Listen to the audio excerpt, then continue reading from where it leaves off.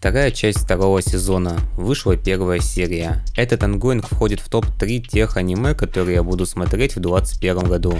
Что я могу сказать? Ну, по эмоциям смотрится как-то, ну, просто нейтрально. Терпильно, в общем. Но почему так? Это как раз из-за того, как мне кажется, что сериал по идее не должен был переноситься на полгода. Я, конечно, помню первую часть, но те чувства уже немного охладели, а тут история продолжается и по сути эмоции эта серия должна разогреть. В целом получилось. Мне понравилось, но из-за такой причины смотрелось терпильно. Если бы не было переноса, многие наверняка получили бы больше наслаждения. По серии Субару решил еще раз придумать свой план, предлагает сделку пернатому, ну и ведьма лишается кристаллов, видимо не во всех смыслах. Несчастью, посмотрел один ролик от говноблогера, который тупо пересказывал сюжет манги. Немного успел поймать спойлеров, короче. Видимо, Субару будет дальше в сериях на жопе летать. Вот блин, как так-то? А вообще, как я отношусь к этому тайтлу? Ну, в исекаях Re:Zero, конечно, обходят многие тайтлы из-за своей идеи. Это одновременно простой и дающий разойтись далеко образ. Главный герой, как всегда, оказывается в фэнтези мире, но вместе с этим он наделен способностью перерождаться в какой-то определенный save.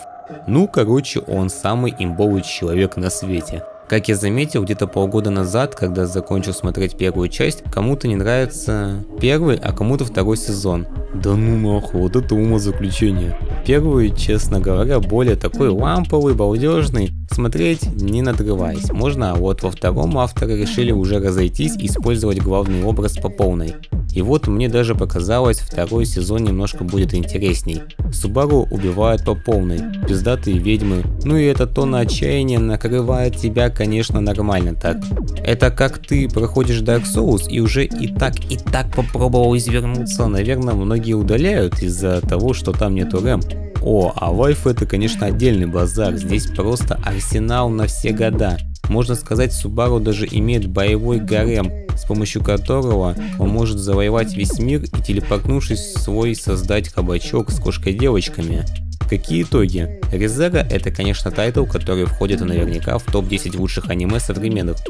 Хуя загнул, но среди этой десятки этот тайтл все же самый попсовый. Конечно, пиздатая идея есть, но при этом авторы понимают все правила рынка и не стремаются все самое лучшее добавлять.